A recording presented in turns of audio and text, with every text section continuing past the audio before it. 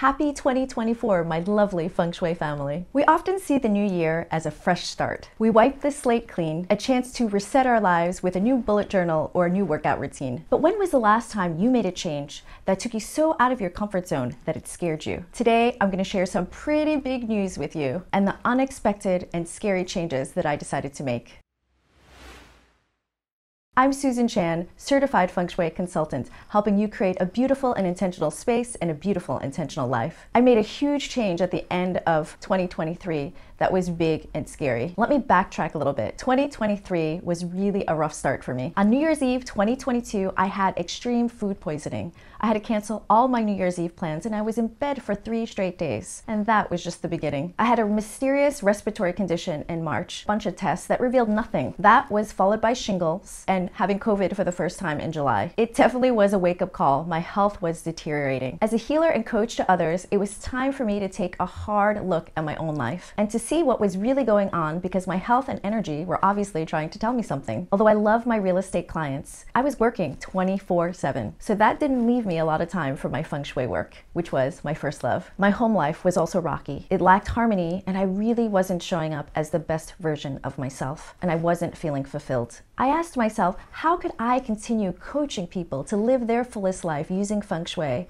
if I was not living my life to the fullest? Feeling like a fraud, I was really confused and lonely. Thank goodness, with all the tools in my tool belt that I've accumulated over the years, I didn't stay in that place too long. I always say, listen to the energy and what it's trying to tell you because it's never wrong. I picked myself back up, I took a leap of faith, and I stepped completely out of my comfort zone. Honestly, I was in my extreme discomfort zone. In my feng shui business, I was already offering virtual feng shui consultations, and I had the pleasure of feng shuiing spaces as far as Australia and India. But 2023 was calling me to do something more, something completely different. And here's what happened I sped up my personal and professional plans by about 10 years. My health had failed me and showed me that life is really short. I had to rewrite my story so I could live my life to the fullest, so I packed my bags. I decided to answer a lifelong calling of expanding my feng shui business beyond the shores of New York City and expanding my business internationally. So here's the big change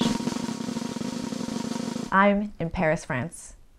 I won't lie, this life decision was not an easy one to make. My life feels still very uncomfortable because this big change created havoc in my internal and external worlds. Through my daily discomfort, I navigate between extreme sadness, mourning my former life, and embracing this newfound joy that I've created because I know that I'm living my truth. So, what does this mean for you, my dear colleagues and friends? I'm still here to guide you on a journey to a fulfilled feng shui life. I'm offering feng shui consultations all year round. I'm offering feng shui consultations in Europe virtually and in person, and I'll be coming to New York three times a year to do in-person consultations and I'll be sure to give you the dates in advance so I can get you on my calendar. I'll also continue to develop this Feng Shui YouTube channel sharing tips and my journey as an international Feng Shui consultant living her best life using Feng Shui principles. But wait, there's more. I'll be offering online classes and the first one will be how to create a Feng Shui vision board for a great 2024. I'll be offering multiple classes so be sure to click the link in the comments for more details. Now it's your turn. Reflect on 2024. What can you change change in 2024 that will be a stretch and out of your comfort zone. Change starts by paying attention to how energy is currently flowing in your life. Is the energy flowing effortlessly or is it a struggle? Let me know in the comments what you think of my big change that I just made and also share what you're thinking of changing for yourself in 2024. Did you like this video? Hit subscribe and hit the bell for when I publish new videos on how to live an intentional feng shui life. And remember, feng shui is not a luxury, but a necessity. See you soon.